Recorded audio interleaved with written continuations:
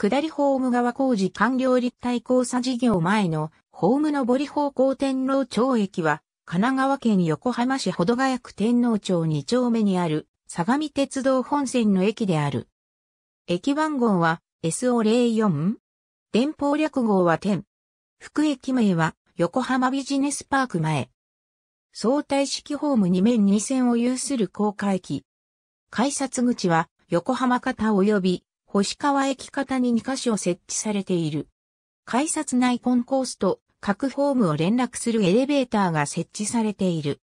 2016年7月16日からは下りホームでエスカレーターが使用開始された。かつては駅構内に蕎麦屋及び売店が存在したが、連続立体交差事業に伴う工事によって閉店している。駅前広場は旧片平橋跡である。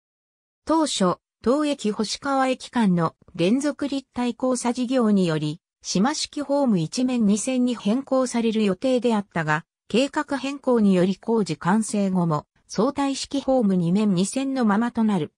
2017年3月5日に、隣の星川駅、下りホームが高架化されたことにより、下り線海老名よりが移設された。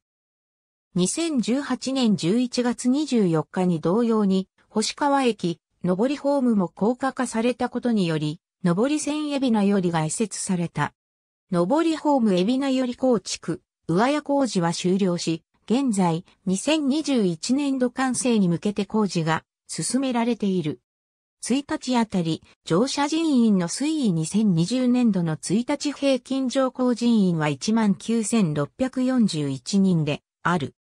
相鉄本線内の優等列車通過駅の中では最も多い。しかし、近年は減少傾向にある。近年の1日平均乗降、乗車人員推移は下記の通り。旧片平橋後あたり駅から約 1km の位置にある JR 保土ヶ谷駅方面に続く道路は、かつての旧東海道であり、周辺には東海道邸型に宿の史跡が点在している。最寄りの停留所は、駅東側の横浜市環状1号線上にある天皇町駅前で、以下の路線が横浜市交通局、神奈川中央交通、相鉄バスにより運行されている。鎌倉時代に創建された、五津天皇社から、歌川広重作、東海道53次の、ほどが、谷は、東駅前南側を流れていた改修前の、片平川に架かる橋を描いたものである。記事本文の出典。ありがとうございます。